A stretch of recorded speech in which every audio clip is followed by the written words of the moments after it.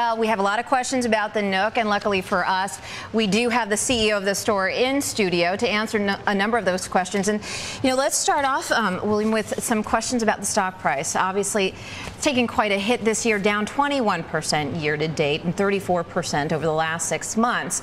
Talk about the Nook, the Nook color. Do you, do you expect this to really be accretive or additive to the bottom line quickly or for this year or for this holiday season? Yeah, we think Nook Color, um, it's given where it is in the market and who we're targeting, it's the first ever color reader's tablet, Lisa. And well, you know what, hold on one second. I'm just sure. going to pick it up so while you're talking, I can kind of hold it up for our photographer here so he can show how incredible. I mean, this is incredibly a real improvement from the last Nook. Yes, it's Color Touch. It employs a screen technology which is called Vivid View. Um, it's a breakthrough technology, so the screen is super cl clear and crisp. We have more books and magazines on this device as well as newspapers and children's content. It's the largest selection of anybody in digital reading. So yeah, we think it's going to be a big hit, and absolutely it'll be accretive to the stock now, price. give me a sense for, I mean, I, I had the Kindle when it first came out. I've used the Kindle. I had a Nook model that I demoed for a while, yeah. and this is significantly better. It's a little bit smaller than the last one. It's a little bit lighter.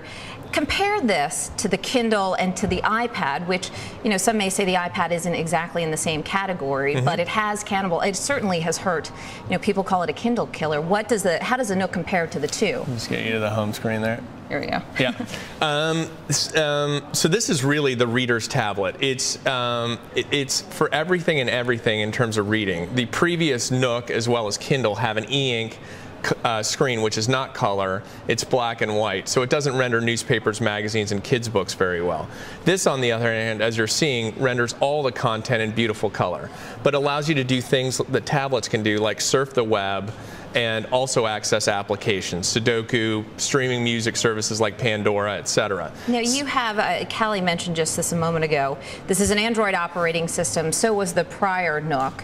Why aren't all the apps available and will there be Nook specific apps available sometime in the future? Yeah, in fact there are Nook specific apps available um, optimized for this device now. I just mentioned Pandora streaming music service. We announced our Nook developer program, Lisa, so we'll have uh, uh, waves of developers developing applications now specific for the device. An example is Lonely Planet, who we've been working with to um, offer specific travel guides. Um, that's a social feature you just showed, which allows you to post content on your Facebook and Twitter pages okay. right from the device. Let me see. I'm going to um, go to the library. Hold on little tough. Um, let's yeah, talk a little bit about where this fits into the big picture for Barnes & Noble. I mean, not no analysts are particularly bullish at the moment, at least sell-side analysts. I think out of the seven that we looked at, it looked like there were zero buys, only three holds, and four sells. Talk to me about that. I know you just closed a big store here in Manhattan. What are you seeing around the country, around the world, and, and where does the Nook figure into that? Well, we think that the stock is a tremendous value right now. We think it's undervalued. We see a consolidation in the bookstore industry. The bookstore industry has been challenged. Um, we see a consolidation with fewer bookstores in this country, and we expect to be the beneficiary of that consolidation. We have the best bookstore model. We operate the most profitable bookstores in the U.S., and we've got the best real estate portfolio. So we think this is a great time to buy the stock. And in terms of Nook Color, uh, digital reading, that's an exploding market where we've got 20% of the market already bigger than what we have in the physical book market, and we think this only gain, uh, allows us to gain share. So, um, so your e-reader market, you, are more books now being bought through the Nook than they are in your physical stores? No, no, no. Okay. Um, we have a bigger share at 20% plus in the exploding digital reading market. We have an 18% share. Um, we're the world's largest bookseller in physical books. But uh, my point was, we are continuing to gain share in the fastest growing segment of the market. Where do you see traditional books going? I mean, that's, that's a big question a lot of people have asked. Amazon was never a traditional bookstore, so developing an e-reader didn't cannibalize their sales, it just added to their sales. And I think for the first time ever, just recently, they sold more e-books than they did actual physical books. But for you, it could actually cannibalize on some of your sales. Well, um, we're not seeing it in that way. In fact, um, in our analysis, our best customers are Barnes Noble members. We have millions of them. We, we find when they're a Nook owner or have our free Nook software, they buy not only um, digital books, but they also continue to buy physical books, and their spend goes up with us about 21%. In addition, we're selling Nook Color and our Nook products in Walmart, Best Buy, uh, Books a Million, where we're the featured e-reader at those huge retailers, allow us, allowing us to access a new customer we might not have otherwise gotten in reading. So we feel like we're playing offense with this device. Okay, let's talk a little bit about the company and the situation that it's in. Right now, you're a public company.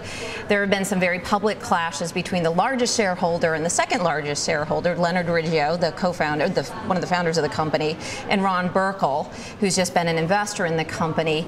Now, one analyst we spoke to speculates that the company will be taken private again. Can you comment on some of that? Um, no, we um, what we've said, Lisa, is that we're going through a strategic evaluations process that's being led by a special committee of the board.